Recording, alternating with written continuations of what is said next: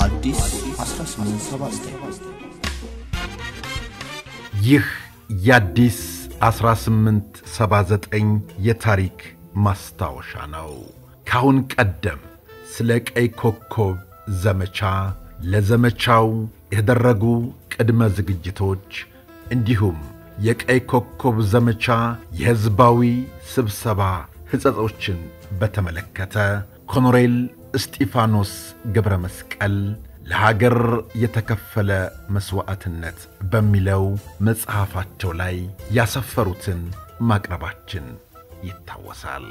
እነሆ አሁን ደግሞ የቀይ ኮከብ ዘመቻ የአዛዦች ምደባን እንመለከታለን።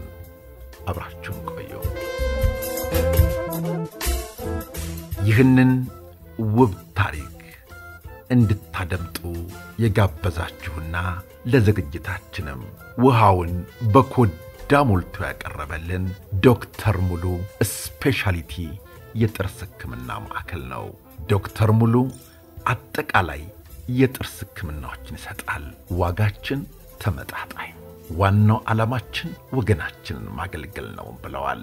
ለጋሃርና ሰሚት ላይ ታገኟቸዋላችሁ። በ0908 52 52 52 ከደወላችሁ ደግሞ ምላሻቸው ፈጣን ነው። ለእናንተ ምን አደረጉ ካላችሁ ውሃ መጠጫውን ቻሉ። እናመሰግናለን።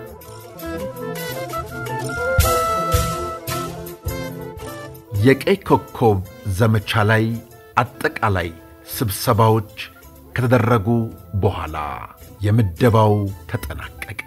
በዚህም መሠረት የመከላከያ ከፍተኛ አመራር ሰጪዎች አንደኛ ሜጀር ጀነራል ወይም ሌተናል ጀነራል ተስፋዬ ገብረ ኪዳን የአገር መከላከያ ሚኒስትር፣ ሁለተኛ ብርጋዴር ጀነራል ወይም ሜጀር ጀነራል ገብረየስ ወልደሃና የአገር የመከላከያ የፖለቲካ ኃላፊ፣ ሦስተኛ ሜጀር ጀነራል ኃይለ ጊዮርጊስ ኃይለ ማርያም የጦር ኃይሎች ኢታማዦር ሹም፣ አራተኛ ብርጋዴር ጀነራል ኋላ ሜጀር ጀነራል ፋንታ በላይ የአየር ኃይል አዛዥ፣ አምስተኛ ኮሞዶር ኋላ አድሚራል ተስፋዬ ብርሃኑ የባሕር ኃይል አዛዥ፣ ስድስት ብርጋዴር ጀነራል ኋላ ሜጀር ጀነራል መስፍን ገብረ ቃል የዘመቻ መኮንን ነበሩ። በዚህም መሠረት ለዘመቻው የተመደቡ የእዝ አዛዦች ደግሞ የሚከተሉት ናቸው።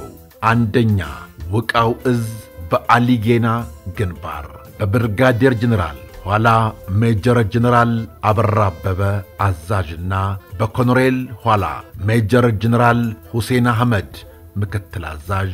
ሁለተኛ የናደው እዝ በናቅፋ ግንባር በብርጋዴር ጀነራል ውበቱ ጸጋይ አዛዥ በኮሎኔል ኋላ ብርጋዴር ጀነራል ይርጋለም ተክለ ሃይማኖት ምክትል አዛዥ። ሦስተኛ መብረቅ እዝ በከርከበት ግንባር በብርጋዴር ጀነራል ኋላ ሜጀር ጀነራል ቁምላቸው ደጀኔ አዛዥ፣ ኮሎኔል ኋላ ብርጋዴር ጀነራል ዮሐንስ ኃይለ ማርያም ምክትል አዛዥ። አራተኛ መክት እዝ የደጋ አውራጃዎች ጥበቃ በኮሎኔል ኋላ ሜጀር ጀነራል አብዱላሂ ዑመር አዛዥና በኮሎኔል ኋላ ብርጋዴር ጀነራል ተስፋዬ አረሩ ምክትል አዛዥ ነበሩ። የመጀመሪያው ማዕረጋቸው በወቅቱ የቀይ ኮከብ ዘመቻን የመሩበት ሲሆን ሁለተኛው ማዕረጋቸው ደግሞ ከዚያ ቀጥለው የተሰጣቸው ነው። ለእዞች የተመደቡት ክፍለ ጦሮች ደግሞ የሚከተሉት ናቸው። አንደኛ ለውቃው እዝ ሰፊ ወረዳን ስለሚሸፍን 15ኛ ክፍለ ጦር፣ 19ኛ ተራራ ክፍለ ጦር፣ 23ኛ እግረኛ ክፍለ ጦርና 29ኛ ሜካናይዝድ ብርጌድ። ሁለተኛ ለናደው እዝ አንበሳው ሦስተኛ ክፍለ ጦርና 17ኛ ክፍለ ጦር። ሦስተኛ ለመብረቅ እዝ 21ኛው ተራራ ክፍለ ጦር ወይም ምንም አይነት ልምድ የሌለው አራተኛ በከርከበት ወይም በመብረቅ እዝ ስር ሳይሆን ከሱዳን አቅጣጫ የሚመጣውን ጦር ለመከላከል በኋላም ከመብረቅ እዝ ጋር በአንድነት ወደ ናቅፋ ማጥቃትን የሚቀጥል በኮሎኔል ታደሰ ገብሬ የሚመራው 24ተኛ ክፍለ ጦር በኮሎኔል ካሳይ ጨመዳ የሚመራ ዐሥራ ስድስተኛ ሰንጥቅ ሜካናይዝድ ብርጌድን ያካተተ ወይም በኤርትራ ውስጥ ብዙ የቆዩና ጥሩ የውጊያ ልምድ ያላቸው ጦሮችን የያዘ አምስተኛ የመክት እዝ ዐሥራ አራተኛ ክፍለ ጦርና ልዩ ልዩ ብርጌዶች እንዲሁም የተወሰኑ መድፎችና ታንኮች ተመድበውለት የደጋውን አውራጃዎች የምጽዋን አካባቢ ደህንነት እንዲጠብቅ ሁሉም በተለያዩ አቅጣጫዎች ቢሄዱም ከመክት እዝ በስተቀር ግባቸው ናቅፋን መያዝ ነበር። የቀይ ኮከብ ዘመቻ የአዛዦች ምደባ ይህን ይመስላል ሲሉ ኮሎኔል እስጢፋኖስ ገብረ መስቀል ያሰፈሩትን እንዲህ አቀረብ ነው። ከዚያስ በኋላ የቀይ ኮከብ ዘመቻ ግዳጆችና አፈጻጸማቸው፣ የቀይ ኮከብ ዘመቻ ውድቀት ምክንያቶች፣ እንደዚሁም ለቀይ ኮከብ ዘመቻ ውድቀት የተላለፈው ቅጣት እና ሌሎችንም ታሪኮች ወደፊት በስፋት እንመለስበታለን። ታሪኩን ጽፈው ያስቀመጡልንን ሰንደው ለትውልድ ይድረስ ያሉትን ኮሎኔል እስጢፋኖስ ገብረ መስቀልን ለሀገር የተከፈለ መሥዋዕትነት የሚለውን መጽሐፋቸውን እንድታነቡት እንጋብዛችኋለን።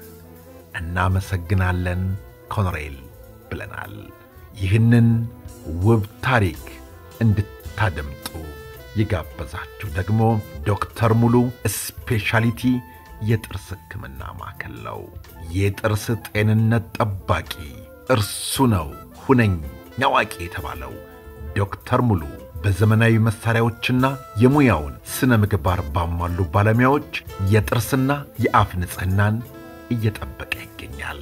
አጠቃላይ የጥርስ ህመም፣ የአፍ ውስጥ ህመሞች ካጋጠሟችሁ ደውሉና አናግሯቸው።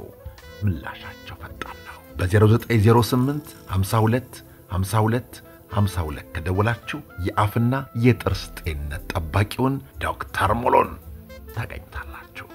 እናመሰግናለን። ውድ ቤተሰቦቻችን ስለ አብሮነታችሁ፣ ስለ ወዳጅነታችሁ ከልብ እናመሰግናለን። በቀጣይ አንድ ይሁን እንዳማረብን ተመልሰን እንመጣለን። እናመሰግናለን። አዲስ 1879